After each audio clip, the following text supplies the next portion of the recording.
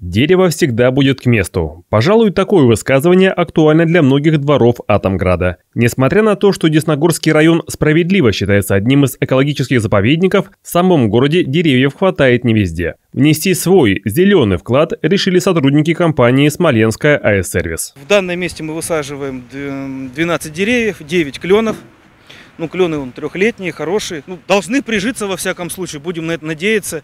Сквер у реабилитационно-оздоровительного и досугового центра – одно из любимых мест горожан. За последнее время уютный парк заметно преобразился, а новые его постояльцы в виде свежепосаженных деревьев станут отличным финалом проделанных работ. Но на этом акция сотрудников не закончилась. У нас очень хороший благоустроенный двор. Единственное, чего тут не хватает, это зеленых насаждений. Проявить особую настойчивость приходится в четвертом микрорайоне. Уже не раз Смоленская АЭС-сервис старается облагородить двор 7-8 домов зелеными насаждениями. Последняя посадка совместно с местными жителями была совсем недавно, весной нынешнего года. Но от саженцев практически ничего не осталось. Большинство из них были срублены неизвестным вандалом. Того, что высадили, осталось буквально 3 или 4 дерева. Опять же, тот же негодяй просто взял их и спилил нещадно.